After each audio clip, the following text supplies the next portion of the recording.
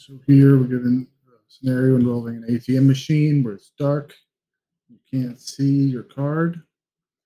Uh, so they're asking what's the problem.